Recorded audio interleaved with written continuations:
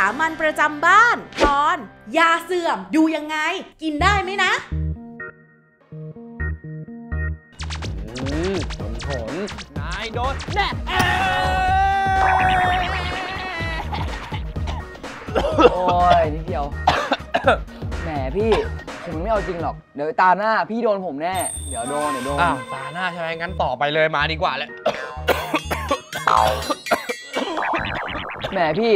จะเล่นอีกตานี่ดูสังขารตัวเองก่อนไหมไอซะขนาดเนี้ยเริ่มไม่ไหวแล้วว่ะ บ้านต้นผลมียาแก้ไอบ้างขอเลยดิ โอเคพี่เดี๋ยวแป๊บนึงให้ผมไปดูให้นะ ได้น้องมาพี่โชคดีมีพอดีเลย อืม น่าจะได้อยู่นะพี่ น่าจะได้แหละเออโชคดีจริงเลย แต่ว่ามันมันไม่เก่าไปไหนเหรอ คือมันก็เก่านะพี่แต่ฉลากก็ยังเขียนอยู่นี้ว่ายังไม่หมดอายุ โอ้ กินได้จริงเหรอต้นผลเฮ้ยได้มาลองดูเลยมา มามันได้อยู่แล้วพี่เชื่อผม อ่า เฮ้ยผมว่ามันก็ดูโอเคนะ อืมเอาจริงอะเอาพี่ ทำอย่างนี้ไม่ได้นะคะ พยาบาลภูนสุขมาช่วยแล้ว อ้าวทำไมจะกินไม่ได้ล่ะครับคุณพยาบาล ก็นี่นะยารักษานะครับ ไม่ได้ยาพิษสักหน่อย แต่ถ้าทานยานี้เข้าไปแล้วก็เป็นยาพิษแน่นอนเลยค่ะ แต่มันมีทั้งออยทั้งฉลาก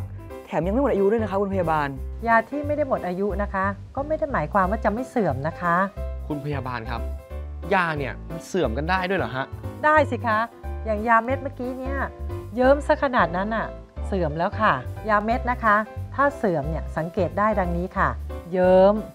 ชื้น สีเปลี่ยน อาจจะมีกลิ่น ลองดมดูสิคะ มีกลิ่นหรือเปล่า มีกลิ่นใช่ไหมคะครับยาแคปซูลก็เช่นเดียวกันนะคะ ถ้าบวมแตกแบบเนี้ยแสดงว่าเสื่อมแน่นอนค่ะ ยาที่เสื่อมเนี่ยถ้ารับประทานเข้าไปอะเป็นอันตรายต่อไตมากเลยนะคะ แต่แบบนี้มันก็เข้าข่ายหลอกลวงผู้บริโภคสิครับ เพราะว่ายามันเสื่อมก่อนหมดอายุ ไม่หลอกลวงหรอกค่ะ อายุการใช้งานของยาเนี่ยขึ้นอยู่กับการเก็บรักษานะคะ เพราะฉะนั้นเนี่ยเราควรเก็บรักษายาให้ถูกต้องค่ะ โดยเก็บให้พ้นจากแสงแดดครับความชื้น ปิดฝาให้สนิท และผลึกยาให้สนิทด้วยค่ะ นอกจากนี้นะคะก่อนที่เราจะเก็บยาเนี่ยต้องมีฉลากระบุให้ชัดเจน นอกจากดูวันหมดอายุแล้วเนี่ยต้องดูลักษณะของยาที่เปลี่ยนแปลงไปด้วยนะคะ เพราะว่าถ้าเราทานยาที่หมดอายุเนี่ยจะทำให้ร่างกายเนี่ยได้รับอันตรายมากกว่าอีกนะคะ เห็นไหมคะ ง่ายนิดเดียว